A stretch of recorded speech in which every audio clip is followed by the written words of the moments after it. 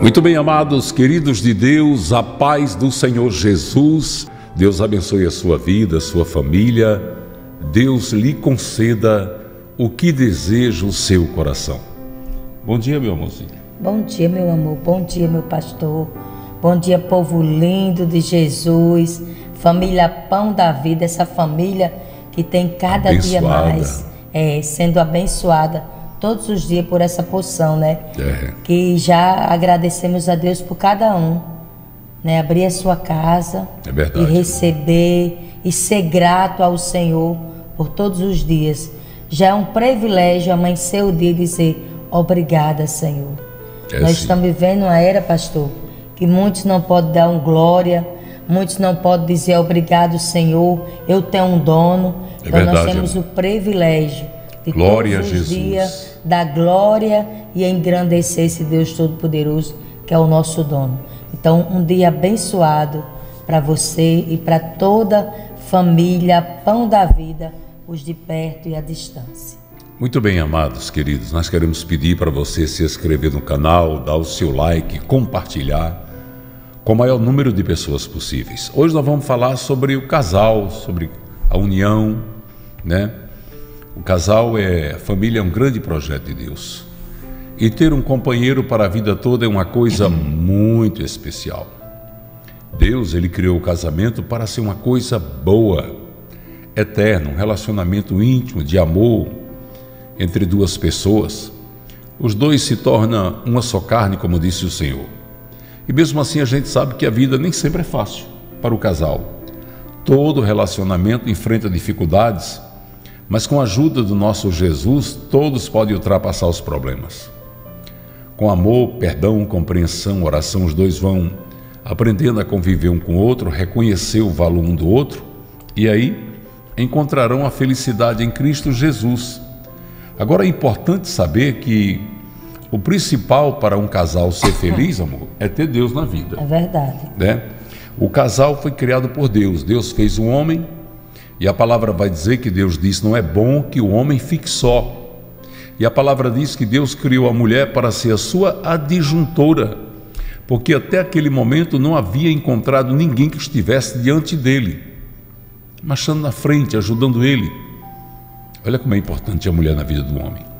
E aí Deus criou Eva, e através da desobediência o pecado entrou no mundo, veio a herança adâmica sobre todos nós, mas nós temos um chamado de reconciliação para caminharmos com Jesus Cristo e entrarmos na família de Deus e sermos felizes. Veja o que está escrito em Malaquias capítulo 2, no versículo 15. Não foi o Senhor que fez um só? Em corpo e em espírito eles lhe pertencem. E por que um só? Porque ele desejava uma descendência consagrada. Aleluia. Portanto, tenha cuidado Ninguém seja infiel à mulher da sua mocidade. Você vê Deus Aleluia. dizendo para o homem e para a mulher que ninguém, quando ele fala ninguém, é ambos, nenhum nem outro, seja infiel ao seu cônjuge. Porque onde existe infidelidade, não existe amor leal. Essa que é a grande verdade. Veja Eclesiastes capítulo 4, no versículo 9, o que está escrito. É melhor ter companhia do que estar sozinho porque maior é a recompensa do trabalho de duas pessoas. Olha Deus falando da união. Aleluia. Né? Ah, falando da união, exatamente porque o casal junto, você sabe disso, talvez você que está me ouvindo, é uma pessoa que compartilha do trabalho do seu esposo, da sua esposa. Ambos dão as mãos. E quando você vê marido e mulher num negócio, esse negócio, se tem união, se tem Jesus Cristo, vai prosperar. Aleluia. Não tem como dar errado. Vai prosperar. Se os dois estão reconhecendo que Deus é o que abençoa este casamento, a prosperidade é consequência desta união. Veja Colossenses capítulo 3, versículo 14. Acima de tudo, porém, revistam-se do amor, que é o elo perfeito. Você veja a palavra de Deus dizendo: revista-se do amor porque o amor é o elo perfeito, o elo perfeito que Deus criou para o casamento. Essa palavra aqui é muito bonita, olha, Hebreus 13, 4. O casamento deve ser honrado por todos. o leito conjugal conservado puro, pois Deus julgará os imorais e os adúlteros. Eita Deus. Aleluia. Aqui Deus diz que o casamento deve ter um leito honrado. Um leito honrado é onde não há mácula de traição. É onde os casais se respeitam, se amam, um cuida do outro e estão na presença do Senhor. E a palavra vai dizer que eles são abençoados. Aleluia. 1 Coríntios 11, 11. No Senhor, todavia, a mulher não é independente do homem, nem o homem independente de mulher. Você está vendo aí? Aleluia. Hoje nós temos muito isso, né? Através do, do feminismo e de muitos outros movimentos, a mulher buscando a independência do homem. Isso não é bom. O machismo também é terrível. Quando Deus criou, você vê que Deus diz: nem o homem é independente da mulher, nem a mulher do homem. Quer dizer, um depende do outro. Um ajuda o outro. Lá em 1 Coríntios, capítulo 7, a palavra vai dizer: mulher, o teu corpo Aleluia. não é teu, é do teu marido. Marido, o teu corpo não é teu, é da tua mulher. Aleluia. Você vê como Deus trata o casal em pé de igualdade, né?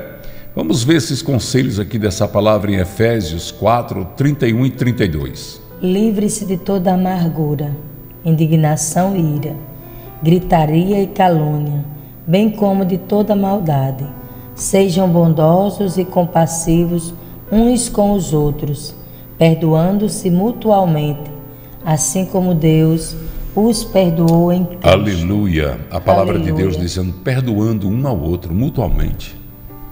A compreensão, o perdão, o entendimento de que nós somos falhos, de que nós temos momentos em que às vezes perdemos a paciência para que o cônjuge espere com que aquela pessoa volte novamente Aleluia. ao equilíbrio para manter um diálogo amoroso. O casal precisa ter compreensão, especialmente o homem, porque nós vivemos numa sociedade machista. A sociedade sul-americana é muito machista.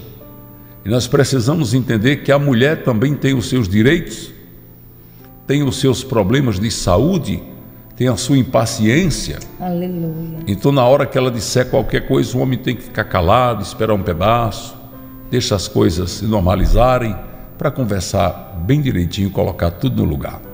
Filipenses capítulo 2, versículos 3 e 4. Nada façam por ambição egoísta ou por vaidade, mas humildemente considere os outros superiores a vocês mesmos.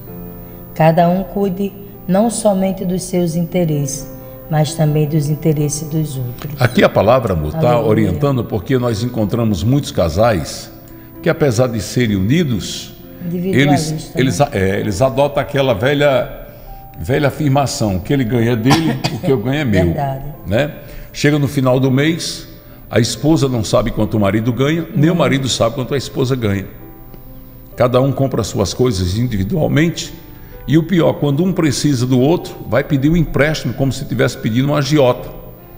Existem casais, por incrível que pareça, que até empresta dinheiro a juro. E isso, irmãos, não agrada a Deus. A menos que esse marido ou essa mulher pegue esse dinheiro para jogar fora. Aí você tem que controlar. Mas quando esse marido pega esse dinheiro para investir no seu trabalho, no crescimento da sua vida profissional, ou para cuidar da família, isso deve ser compartilhado com maior amor. Efésios Aleluia. 5, 28 e 29, falando dos deveres domésticos. Da mesma forma, os maridos devem amar cada um a sua mulher como seu próprio corpo. Quem ama sua mulher ama a si mesmo. Além do mais, ninguém jamais odiou o seu próprio corpo. Antes o alimenta e dele cuida como também Cristo faz com a igreja. Você veja que aqui Aleluia. Jesus ele fala através da palavra que a mulher trate o marido, cuide do marido como a igreja cuida do Senhor Jesus, com reverência, Aleluia. com respeito. E o marido trate a sua mulher como Cristo faz com a igreja. Olha que comparação forte, amor. Aleluia. Deus dizendo assim: você quer ter uma vida plena de felicidade? Então trate a sua mulher com o amor com que o Senhor Jesus trata a igreja. Meu Deus, como é importante. Aí também Efésios 5, 25. Maridos, ame cada um a sua mulher, assim como Cristo amou a igreja e entregou-se por ela. Como Cristo amou a igreja Aleluia. e entregou-se por ela. Nós vivemos numa sociedade tão machista que às vezes alguns homens acham que lavar um prato, ajudar a lavar uma, uma, uma louça, Desonra. lavar um. É, é uma desonra, não é desonra. Aleluia. Não é desonra. E Deus, ele é muito claro quando ele fala com relação a um dos cônjuges ser crente E o outro não. e o outro não ser. E às vezes a mulher se apaixona por um homem ou o homem por uma mulher, sendo que um está nos caminhos de Deus e outro está totalmente fora do caminho. 2 Coríntios capítulo 6, versículo 14. Não se põe em julgo desigual com descrentes, pois o que tem em comum a justiça é a maldade. E a maldade. Ou que comunhão pode ter a luz com as trevas? Pronto, muitas irmãs falam assim, pastor, e quando a gente aceita Jesus, depois de casado, ninguém era crente, a esposa aceita, ou o esposo, e o cônjuge não é. Eu digo, aí é hora de orar e tomar posse da palavra, né, de Atos 16, 31, quando a palavra diz, aceita o Senhor Jesus, Salva-te. salva-te e tua casa. A verdade, meus amados, é que a briga entre casais é o principal método usado pelo diabo para destruir a vida da família. Quando o casal começa a brigar e já não se ama mais, que falta o respeito, aí o inimigo está ganhando terreno. Verdade. Mas quando o casal compreende que o amor entre eles é o fortalecimento da família, dos filhos, da união, Aleluia. da prosperidade, do crescimento espiritual e material, esse casal vai muito bem. Veja o que está escrito em 1 Coríntios, capítulo 13, versículos 4, Quatro, 5, 6 e 7. Sete. O amor é paciente, o amor é Aleluia. bondoso, não inveja, não se vangloria, não se orgulha, não maltrata, não procura seus interesses, não se ira facilmente, não guarda rancor. O amor não se alegra com a injustiça, mas se alegra com a verdade. Tudo sofre, tudo crê, tudo espera, tudo suporta. É lindo, né? Você passar isso. É Aleluia. lindo, né? E é verdadeiro, Fala, né? é, fala sobre o amor fraternal que deve ter entre o casal exatamente esse amor fraternal. Né? Por quê? Olha o que Jesus falou aqui em Mateus 19,6. Assim eles já não são dois, mas sim uma só carne. Portanto, o que Deus uniu, ninguém separe. Você veja que Jesus está dizendo ninguém separe. Quando ele diz ninguém, é ninguém mesmo. Ninguém pode se separar. Olha o que fala aqui, isso aqui é lindo, olha. Provérbios 18, 18, 22. Quem encontra uma esposa encontra algo excelente. Você é excelente. Recebeu uma bênção do Senhor. Recebeu a Você bênção é minha bênção. Quem encontra uma esposa recebeu algo excelente, né? E quando Deus vai formar uma família, tirado de duas famílias, olha o que é que ele diz em Gênesis, capítulo 2, versículo 24. Por essa razão, o homem deixará pai e mãe e se unirá à sua mulher, e eles se tornarão uma só carne. Aqui Deus já manda que o homem se desprenda da família para constituir Outra uma nova família, né? E você tem que entender que quando Deus falou isso aqui, ele não estava dizendo, filho, largue sua mãe, filha, largue sua. Não, não. Deus estava dizendo que a formação de uma nova família. E ele estava dizendo, não separe o homem que Deus uniu, para que os laços familiares não sejam motivo para a separação, amor. Para a separação. Por quê, pastor?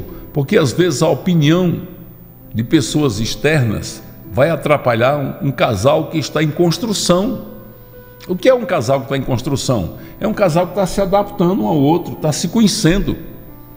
Você tem que ver que o casamento ele é formado de duas pessoas criadas com culturas familiares totalmente diferentes. Verdade. Eu fui criado de um jeito, a pastora Jossa Neto foi criada de outro. Assim. A educação que ela recebeu não é a mesma minha, né?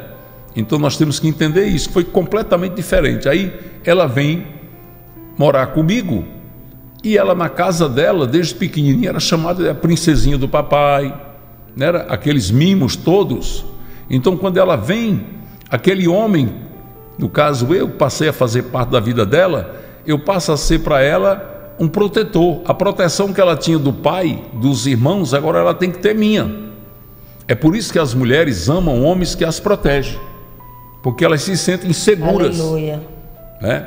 Quando uma mulher tem um homem que despreza, que não protege ela, que não defende ela, para ela é uma decepção muito grande, porque desde criança ela foi criada sendo protegida pela família. Não é assim que funciona? É verdade. Pois é, meus amados, nós vamos orar agora e vamos orar pelas famílias, vamos orar para que o Senhor, nosso Deus, Ele dê a você que está conosco, especialmente a você que está tendo problemas no seu casamento a você, homem, você, mulher, que o Senhor te dê sabedoria é, para entender que a reconstrução, a restituição, a restauração sim, de um casamento parte do princípio da renúncia. Verdade. Casamento é renúncia. A primeira renúncia que você faz quando você casa, renuncia a ser solteiro. A partir de agora, a minha vida não é mais uma vida eu e eu, é uma vida compartilhada, eu e minha esposa entendendo que essa mulher é foi Deus que colocou na né? sua vida. É exatamente. Vamos orar e vamos pedir a Deus a santa proteção dos céus. Vamos orar e dizer para Deus, Pai querido, Deus amado, Deus Sim, maravilhoso, Tu és o Deus da família, Pai. Sim, meu Pai. E nesta oração nós queremos orar pelos casais que estão em crise Sim. e pelos casais que vivem felizes, Deus. Para que o Senhor os abençoe cada vez mais que eles encontrem a felicidade em cada olhar, que possa olhar um para o outro, Deus, e ver a tua imagem e a tua semelhança. Ah, Pai querido, que a solidão nunca acompanhe o casamento das tuas filhas, dos teus filhos. Que eles sintam necessidade de estar um próximo ao outro. Que eles sintam vontade de compartilhar sua vida, de gerar filhos, formar família, e serem felizes. Que eles vejam, Senhor, na pureza de uma criança, a pureza do seu amor. É, que eles possam olhar um para o outro e dizer assim: Foi Deus que me deu você. Foi Deus que teve misericórdia de mim e colocou você na minha vida, para mim cuidar de você e você cuidar de mim. Deus, eu te peço em nome de Jesus que o Senhor restaure os casamentos abalados. Assim. Que o Senhor restitua aqueles casamentos, Deus, que já foi dado por finalizado. Mas tu és o Deus de toda a terra. Tu és o Deus da reconstrução. Tu és o Deus, Pai, que pode todas as coisas. Abençoa, Deus os casais que nos acompanham, os casais da Igreja Pão da Vida, de perto ou à distância. Estende a tua mão poderosa, derramando sobre as suas vidas amor, sabedoria e prosperidade. Muita saúde, Pai, muitos anos de vida. Tu sabes, Deus, quantas pessoas estão ouvindo esta oração e estão tristes. Mas que nesta oração elas possam sentir que o nosso Deus é poderoso Aleluia. para reconstruir. Sim, o nosso Deus é poderoso para é, restaurar. Restaura, o nosso Deus é poderoso para ressuscitar manhã, o amor é. que eles imaginam que já acabou. Que a palavra não dá mais, não te suporte mais, Sim, não faça Deus. parte do vocabulário dos é, casais. que eles possam ver, Deus, Sim, no sorriso das crianças o teu amor por eles. Manifesta, Deus, o teu amor. Enche de alegria, Deus, os casais que estão nos ouvindo. Toca, Senhor, o coração dos homens e das mulheres. Para que deixem de orgulho, de soberba e volte um para o outro reconhecendo que foi o Senhor que colocou um no outro na vida deles. Abençoa, meu Deus, nossas moderadoras, moderadores. Abençoa todas as nossas ovelhinhas Abençoa poderosamente com teu multiplicar os dizimistas, os ofertantes, os que têm votos e propósitos com a tua obra. Abençoa o meu Deus, em nome do Pai, do Filho e do Espírito Santo. Abençoa todos que desejam abençoar esta obra. é o nosso pedido, em nome do teu Filho amado Jesus. Amém. Amém, Jesus. Casal feliz, Deus feliz. É sim. Deus abençoe a sua vida, receba essa oração Inscreva-se aqui no canal, dê o seu like, compartilhe, mande para outros casais. Deus abençoe. Eu quero profetizar você, mulher. Você, mulher que ama Deus, ama a sua palavra. Nos ensina, que está esperando em Deus a salvação do seu marido e dos seus filhos. Sim, eu profetizo que a palavra de Deus irá se cumprir na sua vida. Você aceitou Jesus e todos da sua família serão salvos, é, como diz a palavra do Senhor. Receba, creia e continue orando e jejuando em prol disso. Deus abençoe. Nosso coraçãozinho, amor. Cheio do Nosso coraçãozinho cheio de amor por Jesus Cristo e por vocês. E por vocês. Beijo no coração em todas as nossas ovelhinhas. Daqui a pouco, o pastor Gabriel Bato e o Bom Dia Jesus. Aí vem o culto no lar com o pastor Chico, pastor Anjo e logo depois, meio-dia, o Pocinho de Jacó. Muito obrigado a todos. Deus abençoe poderosamente a sua vida, a sua família. Beijo no coração. Beijo. Beijo, minha preta. Fica na paz do Senhor Jesus. Em um mundo agitado, onde muitos enfrentam a solidão e o abandono, há um lugar que brilha como um farol de esperança. Um refúgio para os que perderam seus lares. Um abraço caloroso para os que foram esquecidos. Bem-vindos à Clínica de Reabilitação Casa do Pai. Cada tijolo colocado é um ato de amor.